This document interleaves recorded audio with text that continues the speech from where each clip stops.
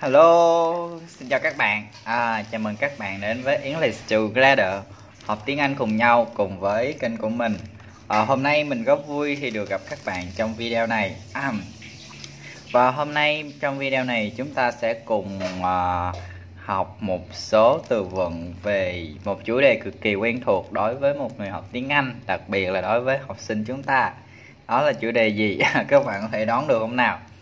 Ok, đó là school topic, topic school, chủ đề trường học.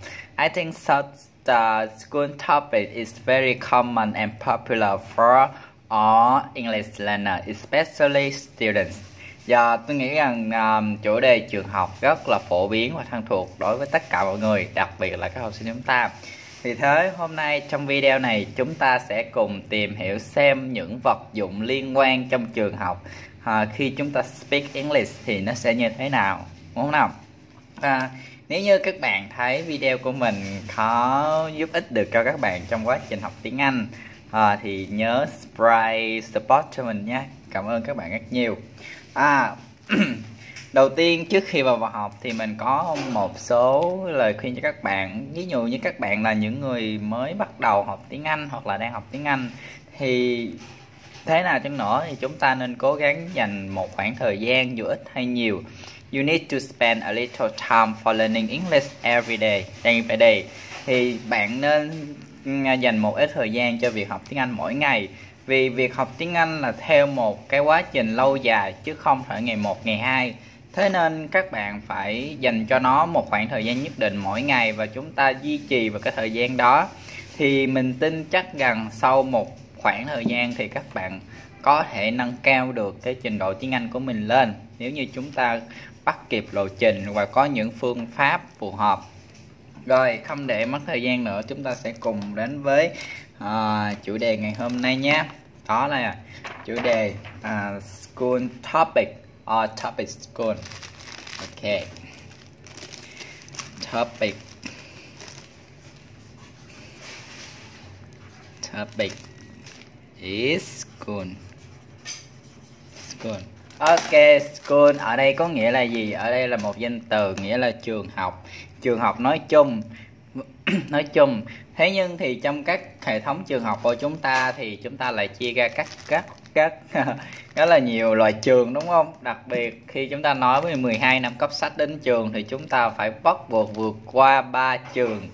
Ba trường đó là những trường nào? Đầu tiên đó là những trường khi tập tỉnh bắt đầu học ABC từ lớp 1 đến lớp 5 Đó là trường gì? Đó là trường tiểu học. Vì trường tiểu học tên là Primary School. Primary School. Ok, đây là trường tiểu học. Uhm, Đây là trường tiểu học thì chúng ta bắt đầu học với a, ớ và cờ giờ.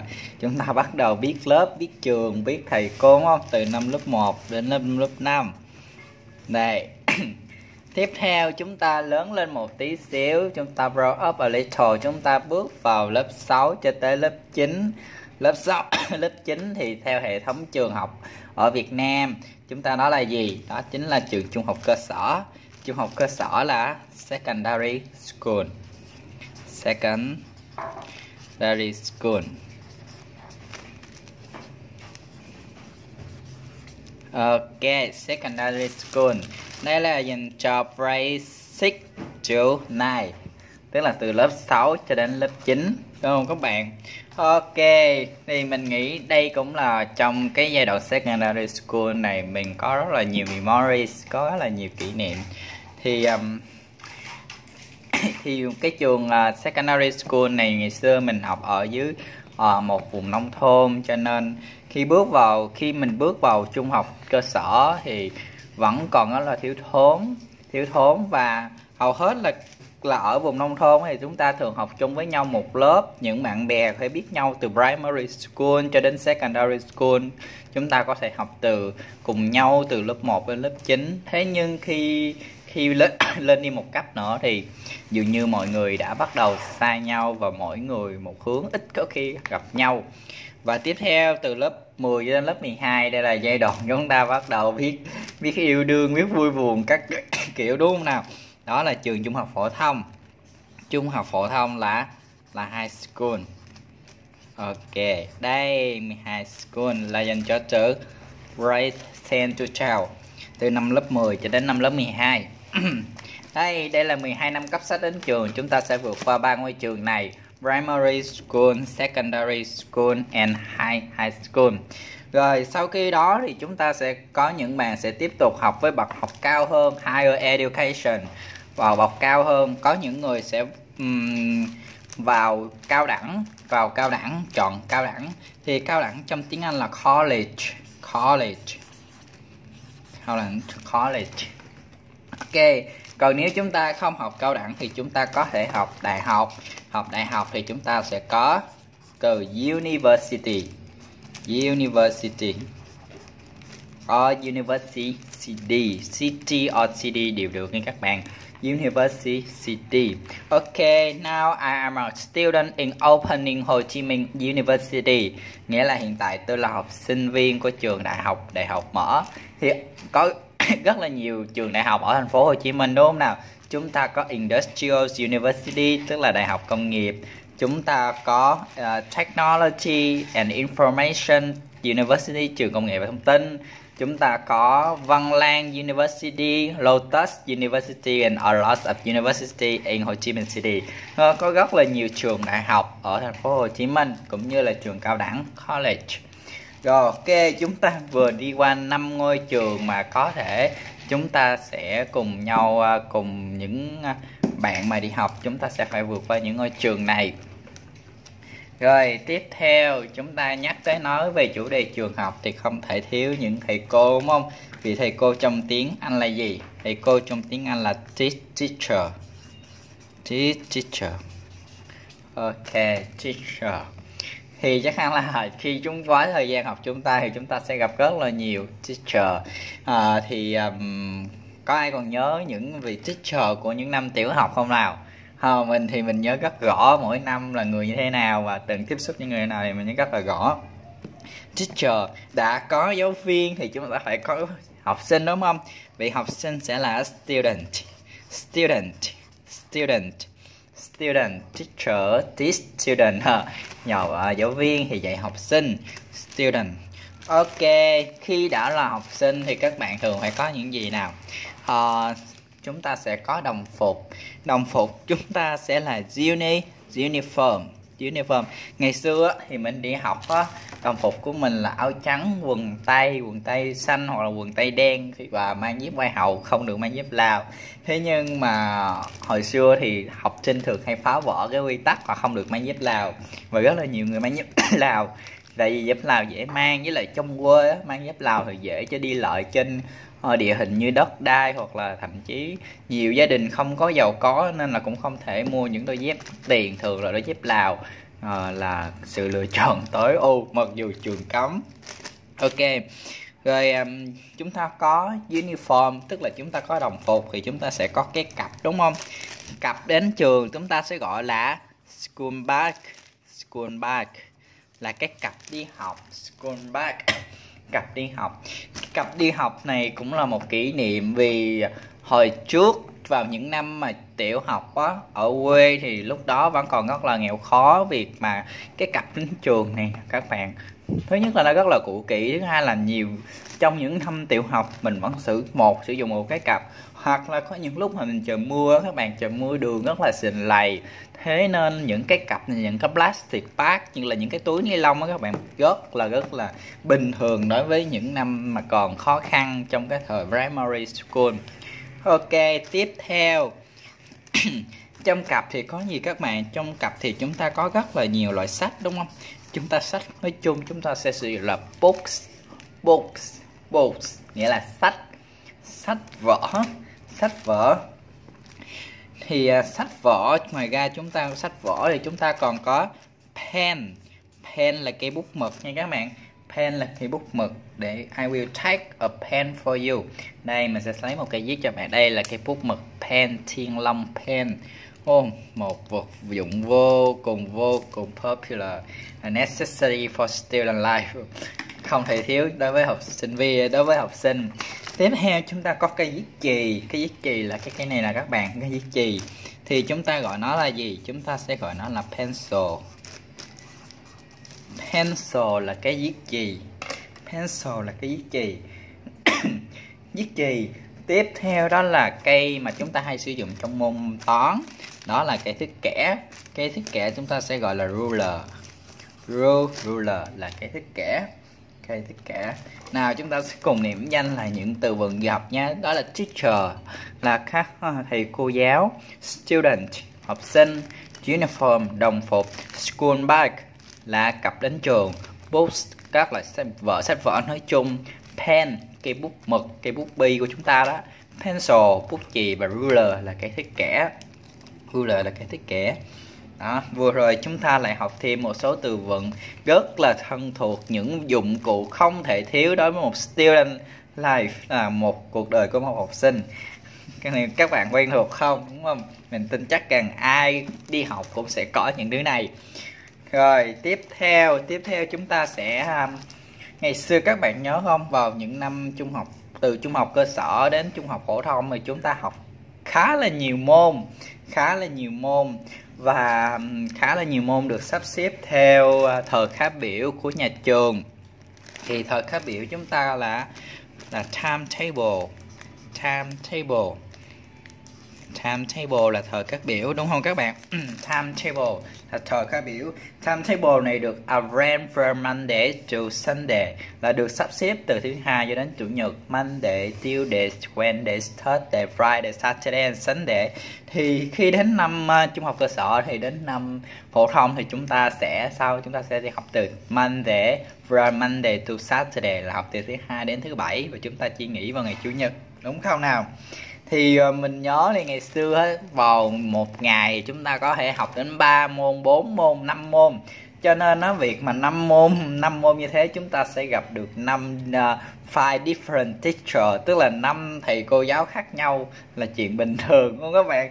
Mỗi môn môn là 45 minutes à, là 45 phút đó 45 phút và chúng ta sẽ đến với môn khác môn khác. Không như bây giờ khi đã bước chân vào trường đại học rồi uh, học theo chứng chỉ thì thường là một tuần là một ngày chỉ là một môn một giáo viên dạy 5 tiết liên tục chỉ một môn.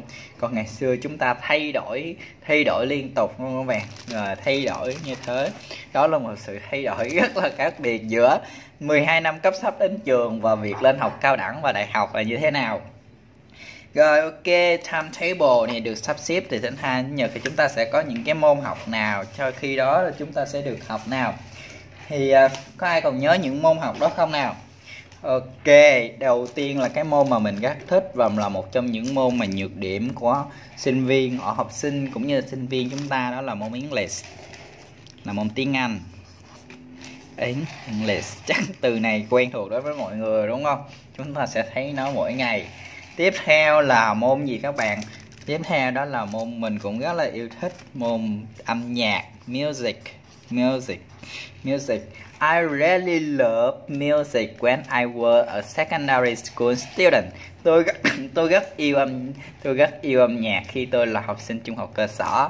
Music. Okay, you can say my music teacher has a nice voice, a rich voice. Nghĩa là thầy à, thầy giáo dạy âm nhạc của tôi có một giọng rất là hay, rất là tuyệt vời.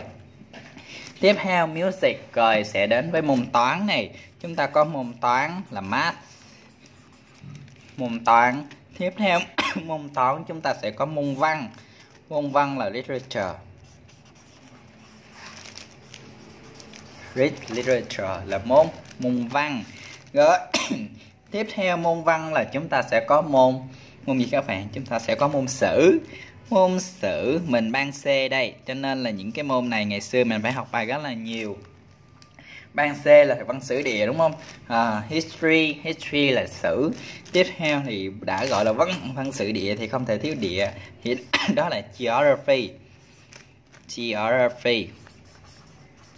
Geography là môn địa địa lý. Địa lý địa lý. Chúng ta sẽ học về country people uh, climate. Chúng ta học về khí hậu đất nước uh, về con người geography. Rồi tiếp theo chúng ta có ban A và ban B đó là môn môn sinh và môn môn lý. Thì môn sinh là biology các bạn biology. Biology là môn sinh học và môn vật lý nó là physics. Physics. Physics. Đây, physics, biology, physics. À đây là môn học. Khi các bạn ghép với cái từ teacher, có nghĩa là giáo viên chuyên dạy môn đó như là English teacher, giáo viên tiếng Anh, math teacher, giáo viên dạy toán hoặc literature teacher, nghĩa là giáo viên dạy văn, history teacher, geography teacher, đồng nghĩa với giáo viên dạy sử và giáo viên dạy địa, biology teacher, giáo viên dạy sinh và cuối cùng là physics teacher, giáo viên dạy lý. Thì ngày xưa đi học, mình học rất mình học tốt về ban C, đó là văn sử địa. Còn như là còn môn sử, văn dân, còn môn lý, môn sinh đó chúng ta còn một môn nữa, đó là môn hóa môn hóa là gì các bạn môn hóa là chemical chemist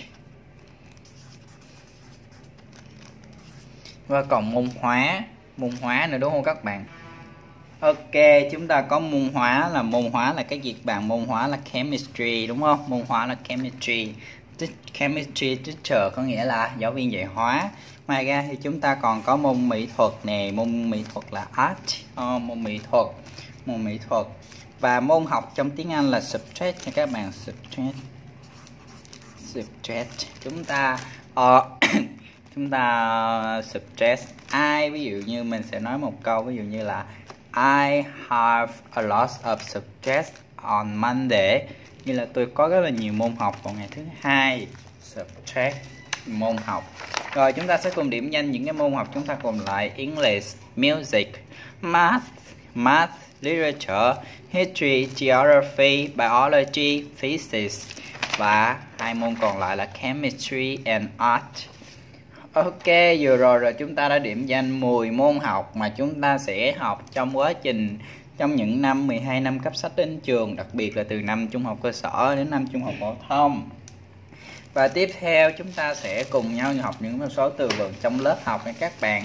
Thì lớp học chúng lớp một cái lớp bình thường thì chúng ta sẽ gọi nó là gì các bạn? Class, đúng không? Class.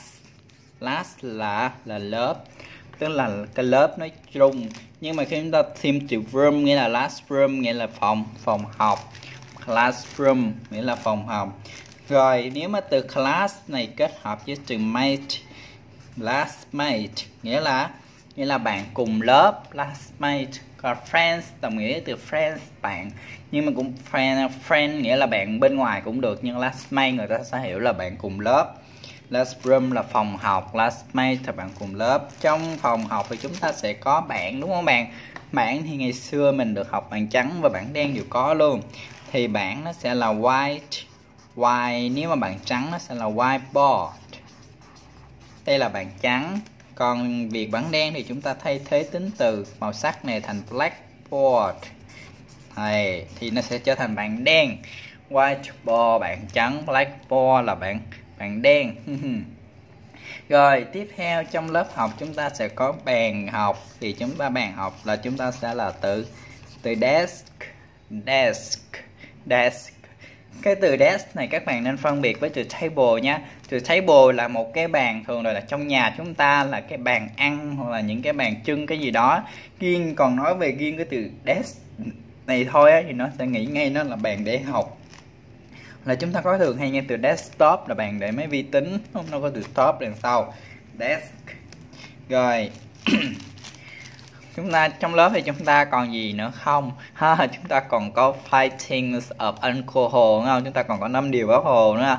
À, như yêu tổ quốc yêu đồng bào học tập tốt lao động tốt đoàn kết tốt kỷ luật tốt giữ gìn vệ sinh thực tốt đúng không? Khiêm tốn thật thà dũng cảm. Đó là năm điều bác hồ dạy mà chúng ta sẽ rất là dễ thấy trong khẩu hiệu. Những cái cô những trong uh, trước vào cái cửa cửa một cái classroom hay ra chúng ta còn có câu của um, Lenin không? Tiên học lễ hậu học văn. Thì chúng ta hay là học học nữa học mãi. Chúng ta sẽ những câu đó. Thì mình vẫn nhớ hoài những cái câu đó khi mình học trung học cơ sở khi mà ngày xưa trên vẫn còn là một cái không có khang trang như bây giờ thì những câu đó được được viết trong những cái tấm bảng khá là khiêm tốn. Ờ, nhưng mà rất là to để ngay trên cái bảng của chúng ta. Đó và quên, nếu mà đã có bảng thì chúng ta có phấn, đúng không? Phấn là tiếng anh là chalk. Đây đây là nó là phấn. Phấn phấn nha các bạn. Chalk. Ok, chúng ta vừa bước vào trong lớp học và chúng ta đã tìm hiểu được một số một số um, vật dụng trong lớp học. Thì classroom nghĩa là phòng học. Classmate là bạn cùng lớp. Whiteboard or blackboard nghĩa là bảng đen hoặc là bảng trắng. Desk là bàn để học. Chalk này đó là gì các bạn? Là phấn. Khi thầy viết bạn bụi phân gây cơi có hàn bụi nào? Rơi trên tóc thầy bụt vàng đúng không? Tự nhiên mình lại nhớ bài hát này. Thì là ngày xưa vào những cái ngày teacher day á thì chúng ta thường nghe nghe cái bài bụi phấn đúng không các bạn? Cái bụi phấn là một trong những cái bài bất hủ đối với đời học sinh. Và hôm nay khi mà cùng với các bạn học về những từ vựng trong cái uh, chủ đề school topic này thật ra bao cái bao nhiêu cái memories nó nó ùa về nó ùa về rất là nhiều và là mình khá là nhớ về những cái cái cái cái khoảng đó đúng không? Ngoài ra thì um, chúng ta còn có gì nữa không? Chúng ta còn có um, giờ ra chơi. Giờ ra chơi thì chúng ta có break time đúng không các bạn? Chúng ta có break time nghĩa là giờ ra chơi. Giờ ra chơi ngày xưa là 30 phút 30 minutes. Từ nếu học buổi sáng là 9 giờ 9 am còn buổi chiều là 3 pm nghĩa là 3 giờ chiều. Và chúng ta có 30 phút 30 minutes. Hả thì giờ ra chơi và giờ ra chơi là break time. Họ on the break time many students pull out into the yard. School yard nghĩa là uh, school yard nghĩa là sân trường đúng không các bạn?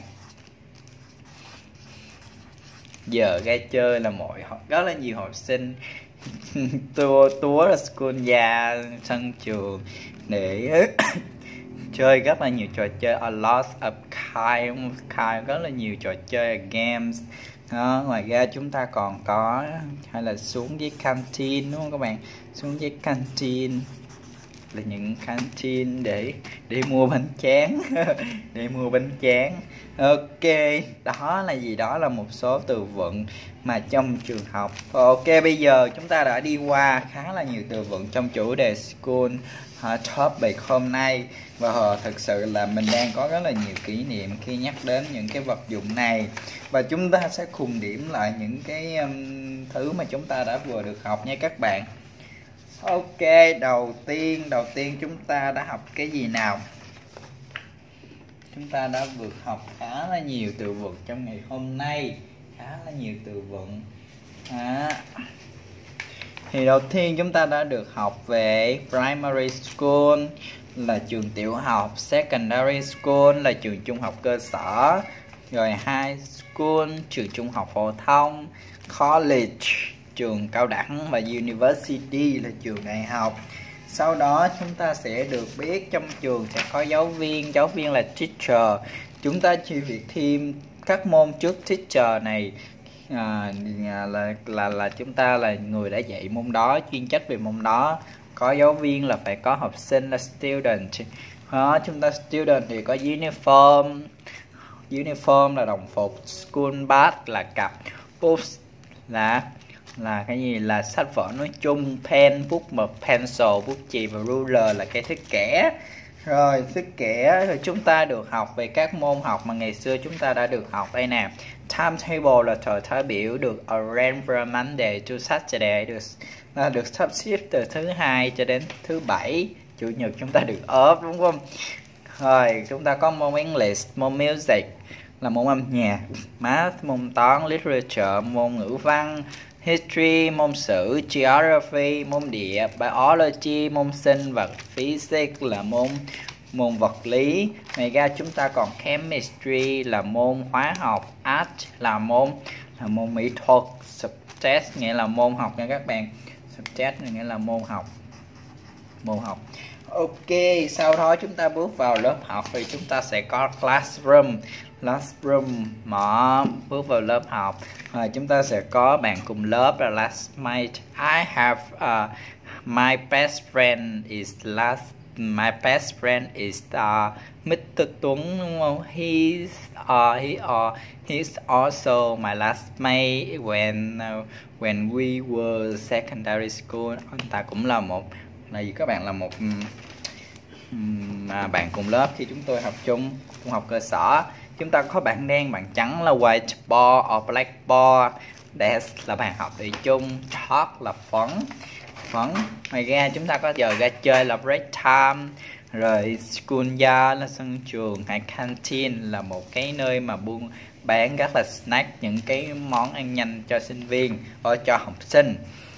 Và ok và ok đó. Quá nhiều từ vựng trong chủ đề school topic hôm nay chúng ta đã được học. Và sau khi chúng ta đã học này thì mình tin chắc rằng cái my vocabulary, our vocabulary increased a lot. Nghĩa là À, từ vựng chúng ta đã tăng lên rất là nhiều đối với chủ đề trường học. Và nếu như các bạn đang còn là những trung học tiểu cho những là à, những học sinh tiểu học trung học cơ sở trung học phổ thông thì à, học những từ vựng này chúng ta có thể nói ngay lập tức đúng không?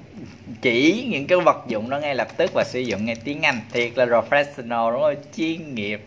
Ok và à, mình à, và hy vọng rằng cái video này sẽ giúp ích cho các bạn trong việc expand your vocabulary English, là việc mở rộng cái vốn từ vựng tiếng Anh cho các bạn. Và hôm nay mình đã cũng có dịp để ôn lại và cũng như là nhìn lại những cái từ vựng mình đã được học và, và hy vọng là cái video này nó sẽ giúp ích cho các bạn. Và nếu như các bạn thấy video của mình useful có thể cung cấp cho các bạn những thông tin thì các bạn nhớ support cho mình bằng cách click vào link đăng ký bên dưới nhé. Và mình cảm ơn các bạn rất nhiều và mình hy vọng rằng chúng ta sẽ gặp vào gặp vào các bạn vào video lần sau. Nhớ nhớ link the red button lâu là English to Reader channel. Mình rất cảm ơn các bạn và chào các bạn. See you!